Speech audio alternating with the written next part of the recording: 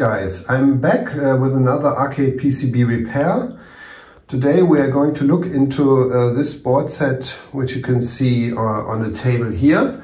This is another copy of the game Pleiades which was released in 1981 by Amstar and uh, Centuri uh, and which was the um, successor of the popular arcade game Phoenix. Uh, this video is actually part four of a four video uh, series uh, repairing several, um, or to be exact, two uh, Phoenix uh, board sets and two Pleiades board sets. So this is the last uh, board set we are going to fix in this video series. If you didn't get a chance to watch the first videos, uh, you are of course very welcome to do so. I think they covered some really interesting repairs. Uh, I still got the the other repaired uh, Pleiades PCB on the bench.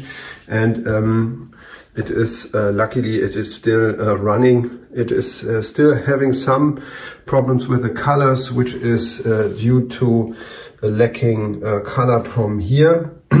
But that's not too much of a problem. I already ordered a replacement prom um, pre-programmed with the correct content uh, on the web, which uh, should arrive in a couple of days.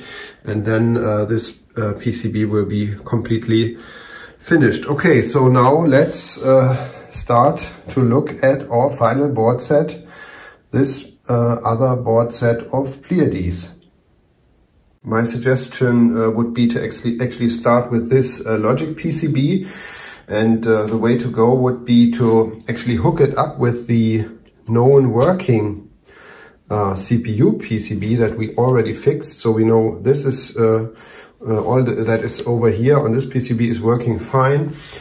Um, so we can uh, purely concentrate uh, on this logic PCB and as a first step get this logic PCB running.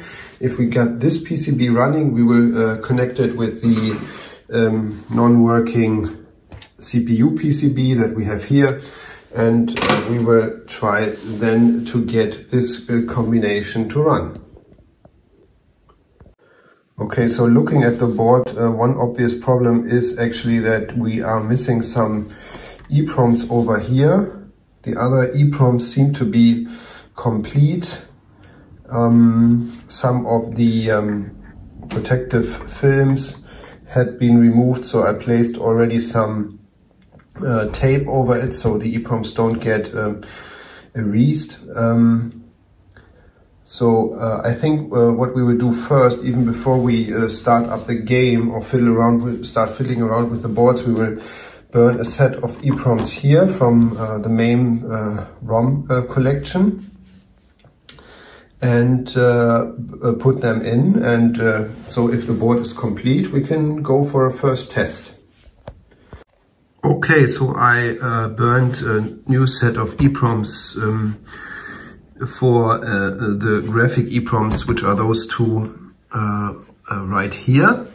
And um, as before, in I think it actually was uh, one of the Phoenix PCB uh, repairs, I uh, used some 27C32 ICs instead of 2716 and just burned double the content on the ROMs, which shouldn't be a problem uh, for the ROMs in this position also.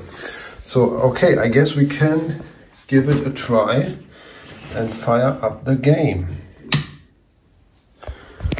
Okay. So what do we have? I think, well, power is on. Nothing at all. Okay, just a black screen. Um, interesting.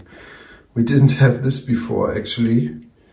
Uh, up to now, we at least got some uh, garbage on the screen.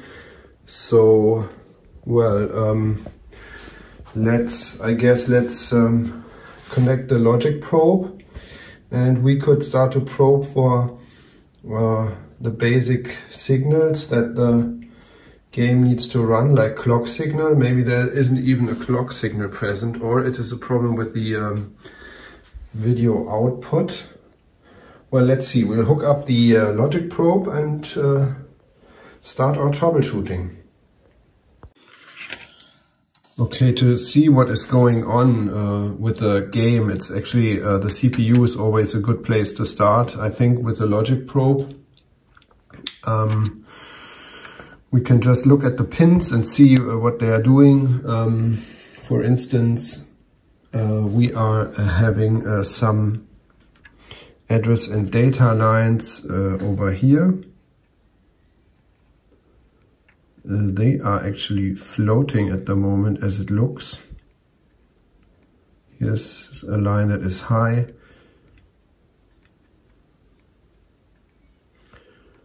Okay.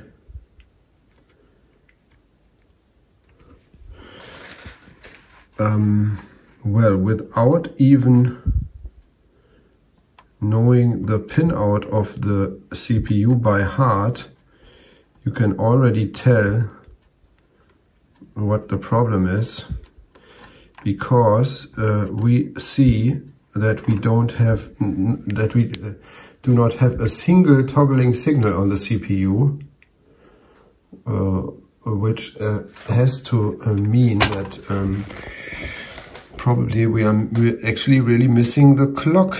So let's take a look the um,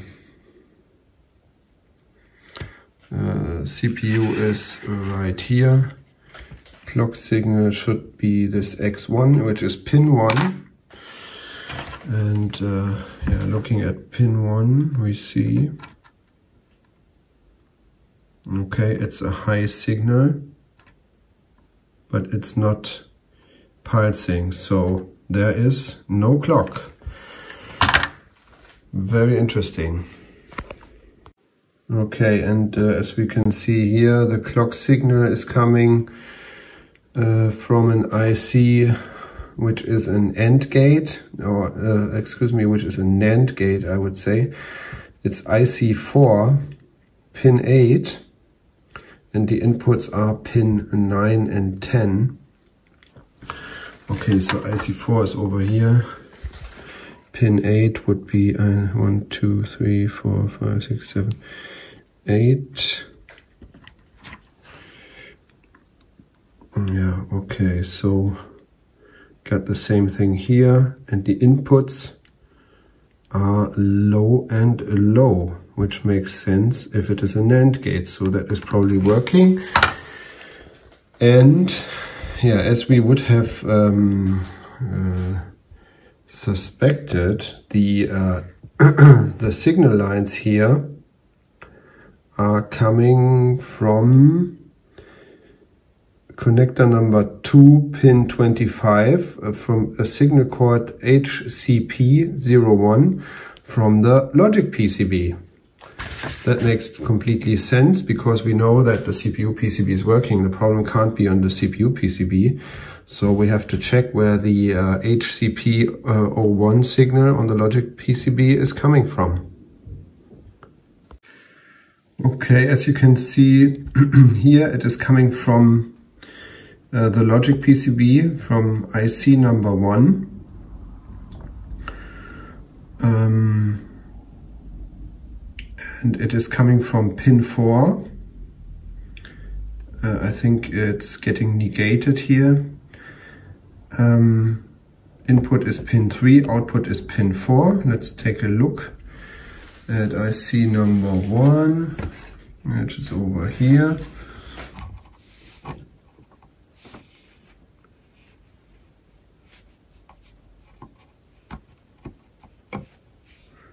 Okay, so pin 3 is high, pin 4 is low. Okay, so that is not the course. Uh, we have some counters here, as far as I can tell. And we have a flip-flop here, and we already see over here, this is the circuit where the clock signal, the basic clock signal for the uh, PCB is generated. There's a, I don't know, is it a one megahertz crystal, maybe? So let's maybe shorten uh, this search and uh, look also at pins 5 and 6 of IC1. Um, which would be over here. Okay, and they are also not toggling. Did I do this right? No, this is pin 5 and this is pin 6. So one high, one low, so this NOT gate is actually also working, but well, we could trace the problem black right to the right to the crystal and uh, to the diodes and capacitors surrounding it. So the area that, oh, we already, okay, we can already guess what the problem might be. There's some sort of corrosion going on around here. So this should be the origin of the uh, issue of the missing uh, clock signals. Okay, looking at this area through the microscope, we can see uh, what is going on here.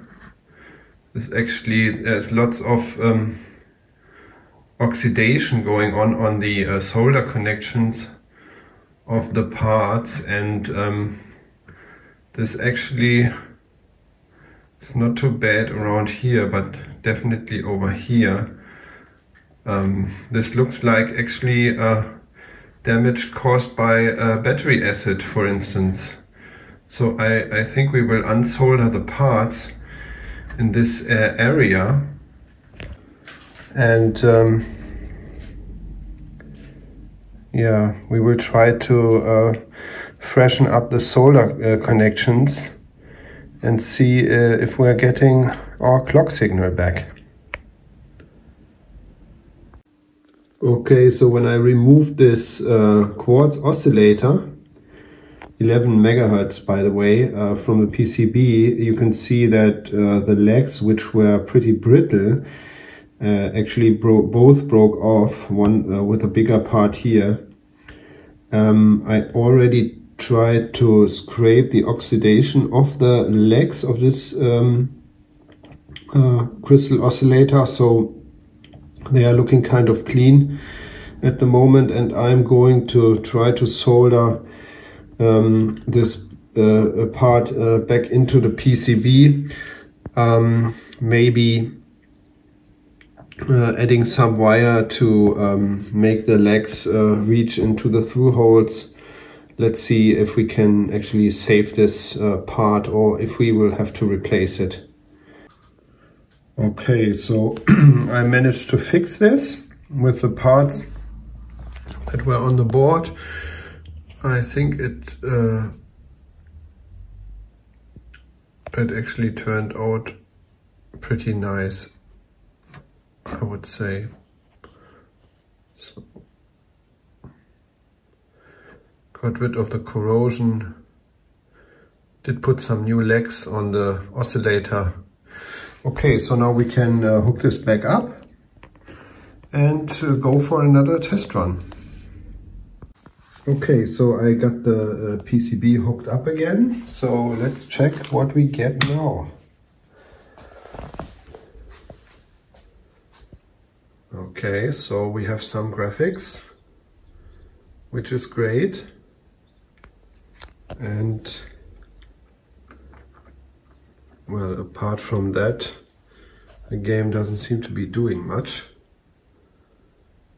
Uh, but at least we got some activity. We obviously must have a clock signal now. Yes, we do. That's very good. Okay, but the CPU obviously isn't executing the program, uh, I would think. So the next step, um, I think, would be now to make sure that these uh, program EPROMs here, those eight EPROMs, they are uh, that they are actually okay and that they are holding the uh, correct content. So I will um, check them in my EPROM reader and compare them to the uh, main uh, ROM collection. And uh, we will see if they are okay or if some of them need to be reburned or replaced. Okay, I tested all the EPROMs uh, in the reader and um, they turned out to be all uh, comparing uh, perfectly to the uh, MAME ROM collection, so they are all fine. And I actually hooked up the Fluke uh, and I already did um, uh, ROM tests um, like we did with, with the last repair um, and uh, actually all the ROMs, um, all the eight program ROMs can be uh, read and they are returning uh, good results all the time. So no problems with the ROMs really, but um, um, says here okay. But uh, as uh, with the last repair, we still didn't get much of anything out of the game. Um, while there was a problem with the um, with the video uh, circuit and with the uh, video RAM. So um, from regarding our uh, experience we gained uh, on the last repair, I would suggest that we now uh, look at the uh, video circuitry, especially at the RAMs and the ROMs, and see if there's any fault um, in this area, just poking around with the logic probe. Okay, so I did poke around with my logic probe um, and in the in the area of the video RAMs, video ROMs, uh, and the addressing uh, circuit, etc., uh, etc. Et and I didn't find uh, pretty much anything out of the ordinary. So all uh, signals are online and um, everything seems to be pretty much working. Um, what you have to say there's a certain limitation to this statement because uh, there's those RAM chips involved and um, the RAM chips are actually hard to test just using a logic probe because uh, if you think about maybe one uh, RAM chip not working right, not doing anything, it will be hard to tell uh, just with a logic probe because um, the RAMs are connected to a common bus so you will find data lines toggling uh, but maybe just because three of the RAMs are working and not all four. That, that could be actually a problem uh, that we cannot detect here. And something I just noticed is um, I was thinking about switching the RAMs, taking the RAMs out of this board and putting uh, the RAM chips, the known working RAM chips from the other board into this board. But uh, well, um, this, the RAM chips on this board aren't socketed, whereas on, on my uh, first working board that we have here, all the RAM chips uh, did have sockets from the start. Um, that's a kind of a difference. And another thing I noticed when I came across this is that if you look at these RAM chips, uh, those four over here and those four over here, you can see that there's at least four kinds of uh, different brand uh, brands for those chips, I think. So it's a, a, a complete mixture of different RAM chips um, that have been used here that lets me leads me to believe that maybe at some point some of them actually have been defective and needed to be replaced.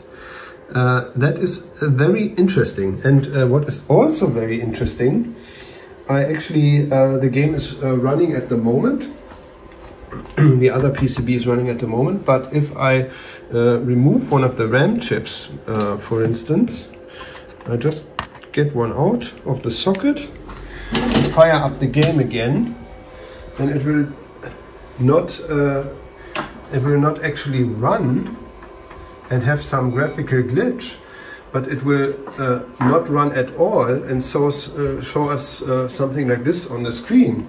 So uh, a damaged RAM, a damaged video RAM, actually prevents the game from, uh, from running at all. So uh, it could very well be that we have a problem with the RAM chip here in the video circuit. So um, you could actually detect this using a logic analyzer. But again, I think this is up in the attic. So I would uh, actually actually suggest that I socket these RAM chips that I take the time and unsolder those, put sockets M for them, and then we can uh, actually swap them out with our working board and see if we maybe uh, uh, that way we get this uh, PCB running. That's at least uh, worth a try, I think. Okay, so I started um, in this region over here and I did replace um, uh, those four memory chips with uh, sockets. These are the memory chips that I um, took out of the board. Um, and I already did put uh, four different memory chips in from uh, the other Pleiades PCB. And if we turn on the game now, then the game is running. So we actually found a problem. Uh, one of those, or several, I don't know, of those RAM chips must be bad. So I uh, would now suggest that we uh, put them in one by one. And uh, in uh, that ma manner, we can uh, maybe work out which um, of those RAM chips are actually failing. Okay, so as it turns out, two RAM chips are okay. And whenever I put these two in, no matter into which of the four sockets, uh, the game will not start up. These two are uh, still taken from the other board, but with those two in, um, the game is actually uh, still working fine. So I will have to get two uh, replacement RAM chips, I, I guess.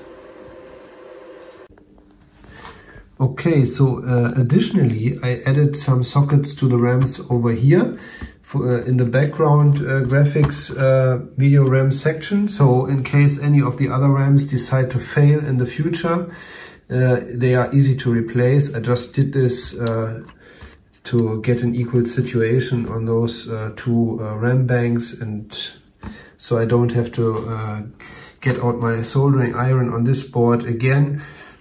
Um, yeah, uh, still works, no problem. And I already did connect the last uh, CPU PCB, um, which we did not try so far. This is the one with the black connectors. The other board I repaired had the, had the blue connectors. Um, actually, this board was missing some chips. I already uh, got some uh, replacement PROM chips. Um, and uh, I had to borrow one chip, I think this one over here, which was socketed, which is just a regular 74 TTL chip. I had to borrow it uh, from the other board. Uh, all the other stuff I could get out of the spare boards that was missing, except only one minor thing, and this is uh, a chip that is missing, and that is uh, the sound chip of the game, or the the uh, or rather the chip that creates the the music of the game. So I don't. I unfortunately I only have one of those uh, custom music uh, chips, and uh, uh, well, so I I guess one of the Pleiades PCBs will end up having no music. Uh, but I think I can live with that. I don't think that I can get a spare uh, just IC uh, anywhere other than maybe from uh, another dead uh, Pleiades PCB. but that's not so much of a deal. What is great is that um, I didn't do anything to this board. I just populated it to this CPU board. And when we fire it up now, we can see that it is all already working. So uh, actually nothing wrong with this uh, second uh, CPU board.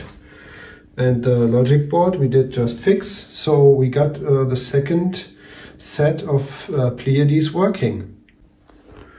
Okay, so um, just great. I, I, I, mean, we reached our goal. We wanted to get four uh, working board sets um, out of the eBay package of 12 non-working PCBs and this is actually what we did. So two complete games of Phoenix, two complete games of Pleiades and uh, everything working fine.